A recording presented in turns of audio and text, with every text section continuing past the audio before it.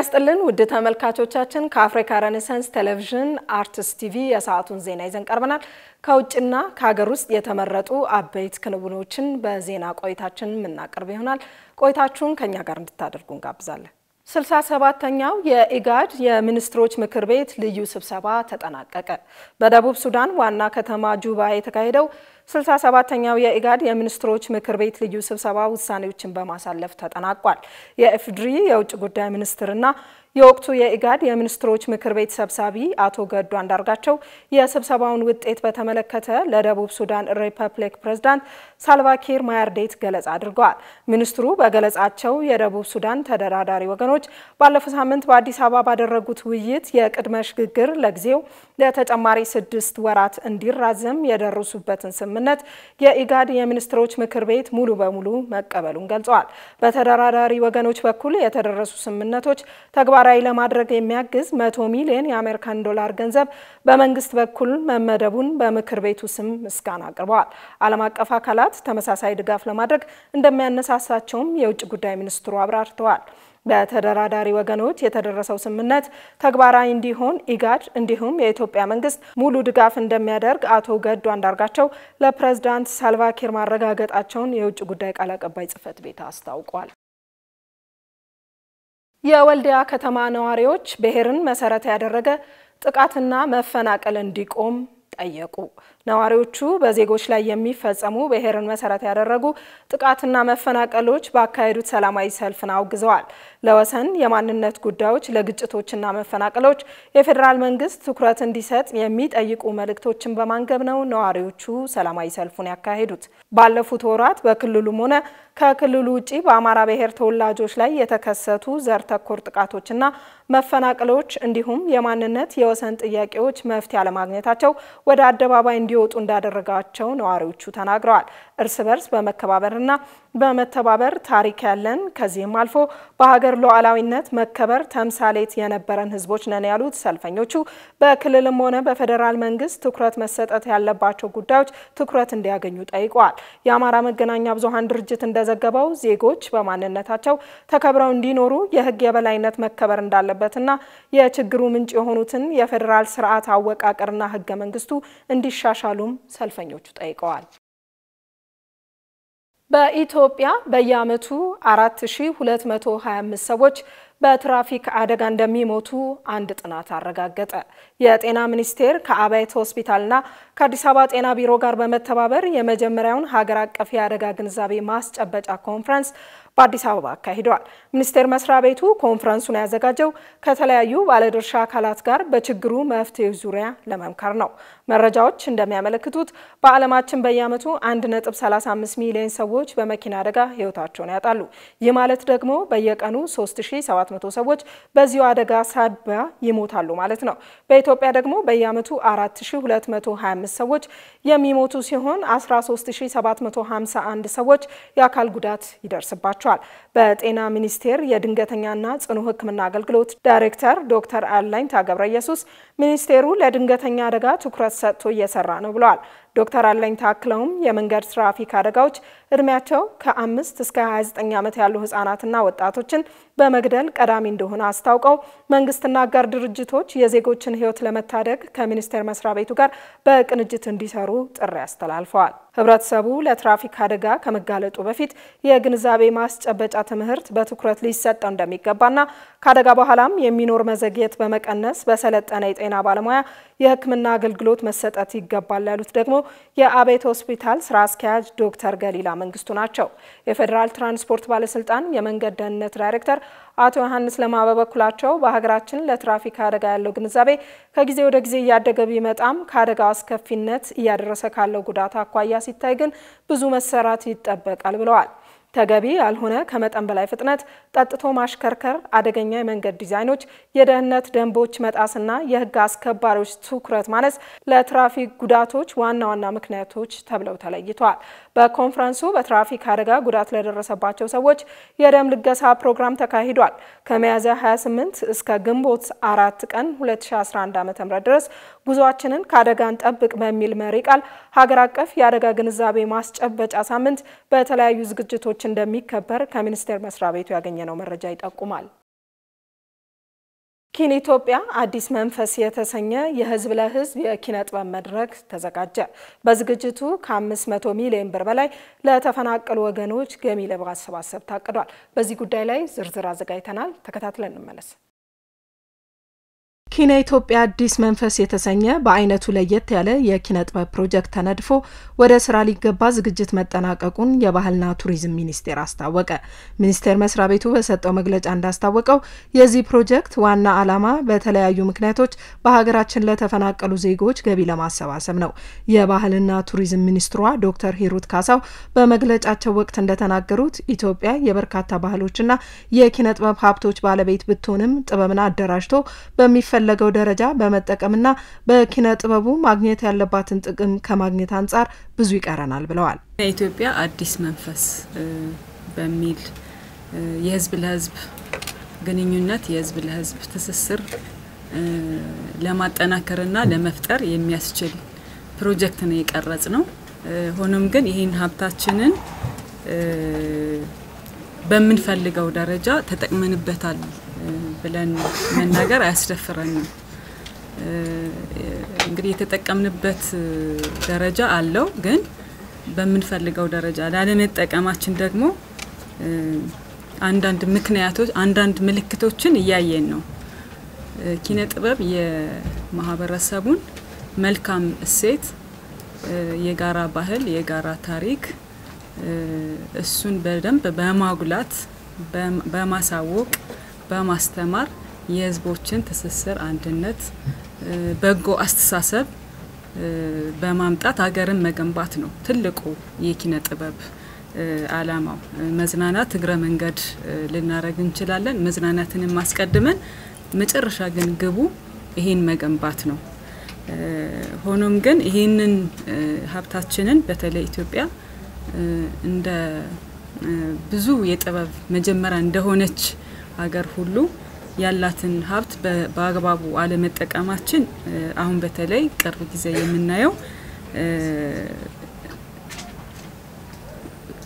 ከኛ ባህል ከኢትዮጵያዊነት መንፈስ የወጡ ምልክቶች የምናያቸው አንዱ ይሄን ጥበብ ተጠቅመን የአስተሳሰብ ግንባታ አለመገንባታችንን ያሳየናል። አሁንም የምናየው የግለኝነት፣ የዘረኝነት፣ የክፋት፣ የእኔ ብቻ ልጠቀም አይነት ስሜት በስፋት የምናይበትና ይሄ በጣም ተንሰራፍቶ የምናይበት ወቅት ላይ ኪነ ኢትዮጵያ አዲስ መንፈስ የኪነ ጥበብ መድረክ ሰዎች እየተዝናኑ ሀገራዊ አንድነትን፣ ሰላምና ፍቅርን እንዲያጎለብቱ ማስቻል ነው። እንዲሁም ሀገራዊ ትውፊትንና ኪነ ጥበብን ማስተዋወቅ፣ ማስተማር ሲሆን በዋናነት በሚገኘው ገቢም የተፈናቀሉ ወገኖችን በመርዳት ወንድማማችነትን ማጠናከር ያስችላል ተብሎለታል። ኪነ ጥበብ ትልቅ ዋጋ ያላት ዘርፍ በመሆኗ የተፈናቀሉ በየቦታው በተለያዩ ክልሎች የተፈናቀሉ ወገኖቻችንን በዚህ ዘርፍ መደገፍ እንችላለን። ካሉበት ጭንቀት ካሉበት መጥፎ አስተሳሰብ ስሜት ማውጣት ብቻ ሳይሆን ገንዘብን በማሰባሰብ በዚሁ በኪነ ጥበቡ የተፈናቀሉ ዜጎቻችንን ድጋፍ ለማድረግ ታስቦ የተዘጋጀ ፕሮጀክት ነው። ኪነ ኢትዮጵያ አዲስ መንፈስ የኪነ ጥበብ መድረክ የፊልም፣ የሙዚቃ፣ የቲያትር፣ የሀገር ባህል ፋሽንና በአጠቃላይ የኪነ ጥበብ ስራዎች የሚቀርቡበት ሲሆን የፓናል ውይይትና የቴሌቶን ዝግጅቶችም እንደሚቀርቡበት ዶክተር ሂሩት ተናግረዋል። ይህ ፕሮጀክት ሁሉም ክልል የተሳተፈበት ነው። የሁሉም ክልል የፕሮጀክቱ አካል ናቸው። ከነሱ ጋር ሰፊ ውይይት፣ ምክክር ተደርጎ የጸደቀ ፕሮጀክት ነው። በዚህም እነሱ ሰፊ ተስፋ የጣሉበት በተለይ ክልሎች ትልቅ ተስፋ የጣሉበት ፕሮጀክት ነው። በዚህ ዝግጅት ሁሉም የኪነ ጥበብ አይነቶች በሙሉ ይቀርባሉ። የሙዚቃ ዝግጅት፣ የቲያትር፣ ሁሉም ስነ ግጥም፣ ስዕልና ቅርጻ ቅርጽ፣ የፋሽን የባህላዊ ፋሽን ማለታችን ነው የፋሽን ዝግጅት ይቀርባል። የውይይት መድረኮች አሉ። ቴሌቶን ይዘጋጃል። የተለያዩ ብዙ ዝግጅቶች አሉት። የኪነ ጥበብ ዘርፉ ግን የሚቀር የኪነ ጥበብ ዘርፍ የለም። እስከ ፋሽን ዝግጅት ድረስ የሚቀርብበት ነው። ግንቦት 15 የሚጀምረው ይኸው የኪነ ጥበብ ዝግጅት በሁሉም ክልሎችና በተለይም በክልል ዋና ዋና ከተሞች ዝግጅቱ ይካሄዳል። ዝግጅቱ ከግንቦት እስከ መስከረም እንደሚዘልቅም ተነግሯል። በዝግጅቱም ቁጥራቸው 250 የሚሆኑ ከተለያዩ የሙያ ዘርፎች የተውጣጡ አርቲስቶች እንደሚሳተፉበትም ሰምተናል። በተጨማሪም ለዝግጅቱ ስኬታማነት መንግስታዊ የሆኑና መንግስታዊ ያልሆኑ ተቋማት፣ የሲቪክ ማህበራት፣ የበጎ አድራጎት ድርጅቶችና ሁሉም የሚዲያ አካላት እንደሚሳተፉበትም ታውቋል። ሶስተኛው የግብርናና የመጠጥ ማቀነባበሪያ እንዲሁም የፕላስቲክ ህትመትና packaging ዓለም አቀፍ የንግድ ትርኢት በሚሊኒየም አዳራሽ ተከፈተ። በንግድ ትርኢቱ ላይ ከ18 በላይ ሀገራት ከ148 በላይ ዓለም አቀፍ የንግድና ቴክኖሎጂ ኩባንያዎች ይሳተፋሉ ተብሏል። በዚህ ጉዳይ ላይ አብነት ታምራት ዝርዝር አዘጋጅቷል። ለኢትዮጵያ ገበያ ፍላጎት የቴክኖሎጂ ውጤቶች ይቀርቡበታል የተባለው ሶስተኛው የኢትዮጵያ የግብርና ምግብና መጠጥ ቴክኖሎጂ የፕላስቲክ ህትመትና packaging ዓለም አቀፍ የንግድ ትርኢት በሚሊኒየም አዳራሽ ተከፍቷል። ከግንቦት 1 እስከ ግንቦት 3 2011 ዓ ም በሚካሄደው ዓለም አቀፍ የንግድ ትርኢት ላይ ከ18 በላይ ሀገራት የተውጣጡ ከ148 በላይ የንግድና ቴክኖሎጂ ኩባንያዎች ተሳትፈዋል። የኢትዮጵያ ግብርና ምግብና መጠጥ ማቀነባበሪያና የተቀነባበሩ ምርቶች ላይ ትኩረት የሚያደርግ ሲሆን የፕላስቲክ ህትመትና packaging ደግሞ የተቀነባበሩ ምግብና መጠጦች አስተሻሸግና የማሸጊያው ጥራት ላይ ያተኩራል ተብሏል። የግብርና ሚኒስቴር አማካሪ አቶ አብዱል ሰመድ አብዱ የንግድ ትርኢቱ በኢትዮጵያ መዘጋጀቱ ለግብርናው ዘርፍ የሚያስገኘውን ጠቀሜታ በተመለከተ ይህንን ብለዋል። እንደ ግብርና የጀማመርናቸው በጣም ትላልቅ ስራዎች አሉ። በተለይ ለሀገር ውስጥ ከማምረት አልፈን ወደ ውጭም ለማምረት ጥረት እየተደረገ ነው። በዚህ በኩል አንዳንድ ስኬቶች አሉ።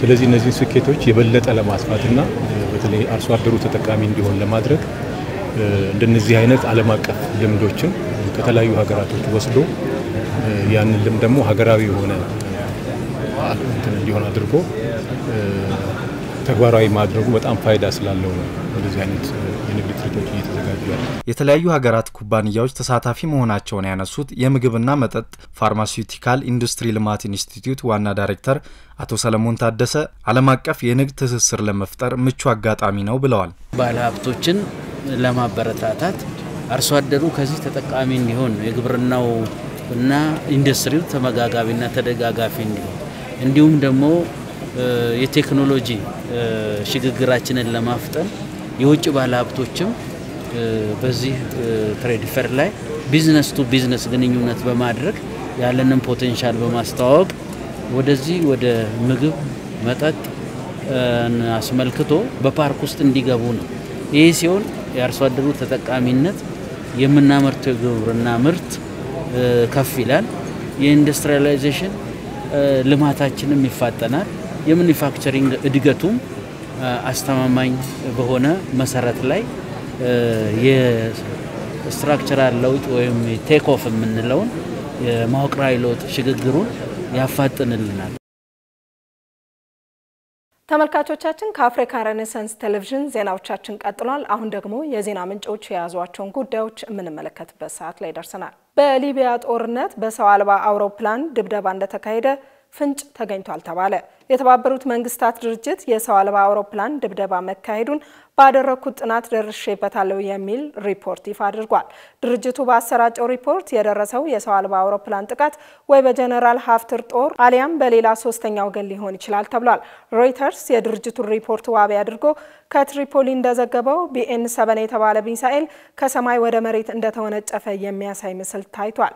BA seven የተባለው ይህ ሚሳኤል ካሁን ቀደም በቻይና በተባበሩት አረብ ኤሚሬቶች እንዲሁም ግብጽና ሌሎች ሀገራት ጥቅም ላይ የዋለ እንደሆነም ሪፖርቱ አመላክቷል። የጀነራል ሀፍትር ጦር ውጊያውም በጀመረ በቀናት ውስጥ ትሪፖሊን እንደሚቆጣጠር ትልቅ ተስፋ የነበረው ቢሆንም ከጠቅላይ ሚኒስትር ፋይዘል አልሲራጅ መንግስት ጦር ቀላል ፈተና አልገጠመውም ተብሏል። እስካሁን በሊቢያ ተፋላሚ ኃይሎች መካከል እየተካሄደ ባለው ውጊያ 440 ሰዎች ህይወታቸው ሲያልፍ በሺዎች የሚቆጠሩ ደግሞ ከመኖሪያ ቀያቸው ተፈናቅለው ተሰደዋል። የተባበሩት መንግስታት ድርጅት አሁንም በሁለቱ ተፋላሚ ተፋላሚ ኃይሎች መካከል የሚደረገው ውጊያ በሲቪሎች ላይ የሚደርሰውን ጥፋት በቅርበት እየመከርኩበት ነው ብሏል። ሁኔታው በጊዜ እልባት ካላገኘ ገና ከዚህ የበለጠ ጥፋት እንደሚደርስና ሊቢያ ከነበረችበት ቀውስ ወደ ባሰ ችግር ትገባለች የሚለው ስጋት ከጊዜ ወደ ጊዜ እየጨመረ ይገኛል። የጀነራል ሀፍትር ጦር ወደ ትሪፖሊ ለሚያደርገው ግስጋሴ የአሜሪካና አጋሮቿ አይዞህ ባይነት ብርታት እንደሆነው የሚናገሩ ወገኖችም አሉ።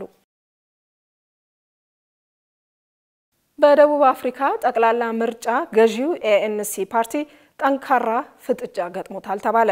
ፓርቲው ከዚህ በፊት በሀገሪቱ ታይቶ በማይታወቅ መልኩ ከ47 ፓርቲዎች ጋር ነው የሚፎካከረው። መስፍን ፈለቀ ዝርዝር አለው።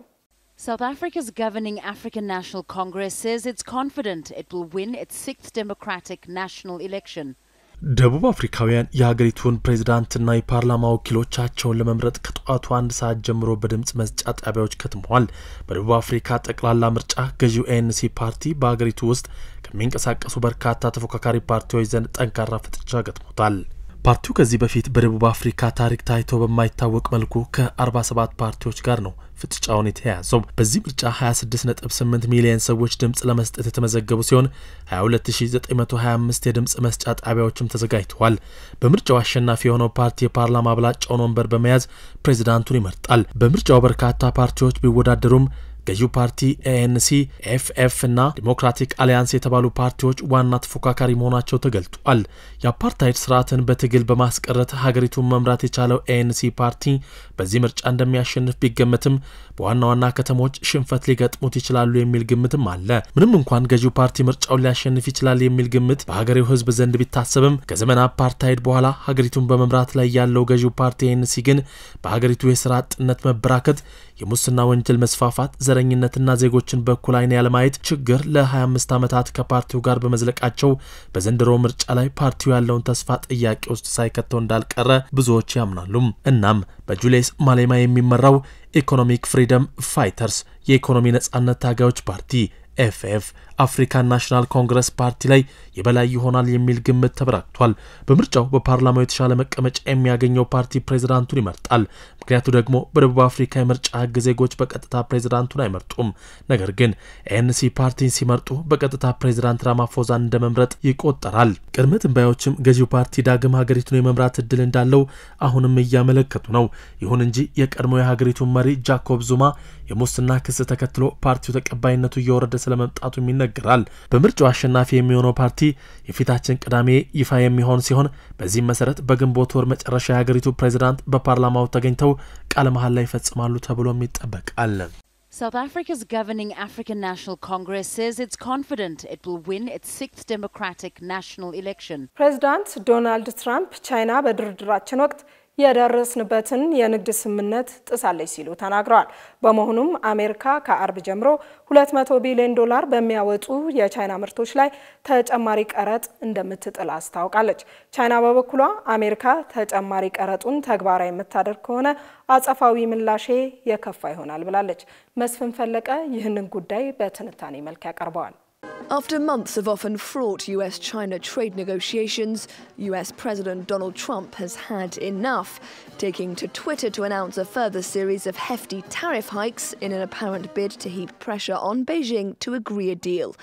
Trump says the US is set to raise taxes on $200 billion of Chinese products to 25%. ባለፈው ዓመት አሜሪካ ወደ ሀገሯ በሚገቡ የቻይና ምርቶች ላይ አዲስ የ50 ቢሊዮን ዶላር ቀረጥ እንደምትጥል መወሰኗን ተከትሎ ቻይናም ተመጣጣኝ የሆነ እርምጃ እንደምትወስድ ገልጻ ነበር። እናም ፕሬዚዳንት ዶናልድ ትራምፕ ውሳኔውን አጸደቁት። ዶናልድ ትራምፕ ይህን ውሳኔ ማጽደቃቸው በሁለቱ የዓለማችን ሀያል ኢኮኖሚ ባለቤቶች መካከል የንግድ ጦርነት እንዲጧጧፍ አደረገ። ፕሬዚዳንት ትራምፕ ዋነኛ በሚባሉ 800 ያህል የቻይና ምርቶች ላይ የ25 በመቶ ቀረጥ እንዲጣል ወሰኑ። በአውሮፓውያኑ ኦገስት 6 2018 ዓ ም ጀምሮም ተግባራዊ እንዲደረግ ትዕዛዝ አስተላልፈዋል። ቻይና በበኩሏ አሜሪካ በጣለችው የታክስ መጠን ልክ በ659 አሜሪካ ምርቶች ላይ የ25 በመቶ ቀረጥ እንደምጥልና ከዚህ ቀደም ከሀገሪቱ ከሀገሪቱ ጋር የተፈራረመችው የንግድ ስምምነቶች ከአሁን በኋላ ዋጋ እንደሌላቸው በንግድ ሚኒስትሯ በኩል ገለጸች። በሁለቱ የዓለማችን ሀያላን የኢኮኖሚ ባለቤቶች መካከል የተጀመረው የንግድ ጦርነት ቀጠለ። እናም ቻይና የአጸፋ እርምጃ የምትወስድ ከሆነ ሌላ ተጨማሪ ቀረጦችን በቻይና ምርት ላይ ለመጣል ዝግጁ መሆናቸውን ፕሬዚዳንት ትራምፕ ካስታወቁ በኋላ በሁለቱ ሀገራት መካከል የሚደረገው የንግድ ጦርነት ማቆሚያ ላይ ኖረው ይችላል ተብሎ ትልቅ ስጋትን ፈጥሮ ነበር። ዓለም አቀፉ የገንዘብ ተቋም አይኤምኤፍ በቅርቡ ባደረገው የዓለም ምጣኔ ሀብት ግምገማ በአሜሪካና በቻይና መካከል የተጀመረው የንግድ ጦርነት ዓለምን አደህይቶ አደጋ ላይ ይጥላል በማለት አስጠንቅቆ ነበር። ከቻይና ጋር የተጧጧፈው የንግድ ጦርነት በጊዜው ከባድ የኢኮኖሚ ቀውስ ሊያስከትል ይችላልም ተብሎ ነበር። የሀገራት የንግድ ፖሊሲ የፖለቲካ ፍላጎታቸውን የሚያንጸባርቅ ነው። በርካታ ሀገራት ደግሞ ፖለቲካዊ ቀውስ ውስጥ ናቸው። ይህም ሌላ አደጋ ሊያስከትል ይችላል ሲሉ የምጣኔ ሀብት ባለሙያው ሞሪስ አብስፌልድ መናገራቸው የቅርብ ጊዜ ትውስታ ነው። ባለፈው የፈረንጆቹ ዓመት መገባደጃ ላይ ቻይና የ60 ቢሊዮን ዶላር አዲስ የንግድ ታሪፍ በአሜሪካ ምርቶች ላይ መጣሏን አሳውቃ ነበር። እናም አዲሱ ታሪፍ የተጣለባቸው የዶናልድ ትራምፕ ተባባሪ ሀገራት የሚያመነጯቸው የተፈጥሮ ጋዝ ምርቶችንም ያካትታሉ። because what we have right now is billions and billions of dollars coming into the United States in the form of tariffs or taxes. So I really don't know, but I will tell you that I think China wants to make a deal. I'm open to making a deal, but frankly, I like the deal we have right now. ትራምፕ በትዊተር ገጻቸው ላይ ባስተላለፉት መልእክትም ቤጂንግ ገበሬዎቻችንን፣ ከብት አርቢዎቻችንንና የኢንዱስትሪ ሰራተኞቻችንን የሚነኩ ከሆነ ከባድና ፈጣን የመልስ ምት ነው በቻይና ላይ የሚወርደው ብለዋል። ዛሬም ታዲያ በሁለቱ የዓለማችን ሀያላን የኢኮኖሚ ባለቤቶች መካከል የተጀመረው የንግድ ጦርነት የቀጠለ ይመስላል። እናም የአሜሪካው ፕሬዚዳንት ዶናልድ ትራምፕ ቻይና ከአሜሪካ ጋር በምታደርገው የንግድ ስምምነት ሂደት ላይ አላስፈላጊ ውሳኔዎች እያሳለፈች መሆኑን ተናግረዋል። ፕሬዚዳንት ትራምፕ አሜሪካ ከነገ ዕለት ጀምሮ 200 ቢሊዮን ዶላር በሚያወጡ የቻይና ምርቶች ላይ ተጨማሪ ቀረጥ ልጥል መሆኑን ማስታወቃቸው ይታወሳል። ይህን ተከትሎም አሜሪካ ውሳኔውን ተግባራዊ የምታደርግ ከሆነ ቻይና ለድርጊቱ ተመጣጣኝ እርምጃ የምትወስድ መሆኑን አስታውቃለች። የቻይናን አጽፋዊ ምላሽ የሰሙት ዶናልድ ትራምፕም ቻይና ከአሜሪካ ጋር የምታደርገው የንግድ ስምምነት እያስተጓጎለች መሆኑን አስታውቀዋል። በሌላ በኩል ሀገራቱ በሚኖራቸው ሁለትዮሽ ንግድ ስምምነት ዙሪያ ለመምከር በዛሬው ዕለት ቀጠሮ መያዛቸው ተነግሯል። ለዚህም የቻይና ምክትል ጠቅላይ ሚኒስትር ሊዩ ከዛሬው ዕለት ጀምሮ በአሜሪካ ይፋዊ የስራ ጉብኝት የሚያደርጉ መሆኑ ተገልጾ ነበር። ይሁን እንጂ ፕሬዚዳንት ትራምፕ በሀገሪቱ መካከል የተጀመረውን የንግድ ስምምነት ሂደቱን የቻይና ባለስልጣናት እያስተጓጎሉ መሆኑን ነው የጠቆሙት። ስለሆነም ቻይና ጉዳዩን በድርድር የማትፈታ ከሆነ መንግስታቸው እርምጃ ለመውሰድ የሚገደድ መሆኑን በአጽንኦት ተናግረዋል። ይህም አሜሪካና ቻይና የገቡበትን የንግድ ጦርነት ይበልጥ እንዳያባብሰው ተሰግቷል። የንግድ ጦርነቱ ለተቀረው ዓለም የሚኖረው እንድምታስ ምን ይሆን? እንደ አውሮፓውያን አቆጣጠር በ2018ና 2019 ዓለማችን አጠቃላይ ኢኮኖሚ እድገት 3.7 በመቶ ይደርሳል ተብሎ የተጠበቀ ነበር። ዓለም አቀፉ የገንዘብ ተቋም አይኤምኤፍ ግን እድገቱን 3.9 በመቶ ላይ አስቀምጦት ነበር። በአሜሪካና በቻይና መካከል እየተደረገ ያለው የንግድ ጦርነት የሁለቱንም ሀገራት ኢኮኖሚ የዋጋ ግሽበት እንደሚያናጋው ይገመታል። ኦብስፌልድ ዓለም እየደህየችና አደገኛ ቦታ እየሆነች ትመጣለች ይላሉ። እንደ ባለሙያው እይታ የዓለም መሪዎች በህብረት በመስራት የኑሮንና የትምህርት ደረጃን አሻሽለው እኩልነት እንዲኖር መጣር ይኖርባቸዋል ሲሉ አስተያየታቸውንም ሰጥተዋል። Chinese are considering backing out of the trade talks in Washington that are scheduled for this week. Uh, this is after President Trump had tweeted over the weekend saying that the 10% tariff would go up to 25% on, on Friday and that $325 billion of additional goods sent to us by China remain untaxed but will be shortly at a rate of 25%.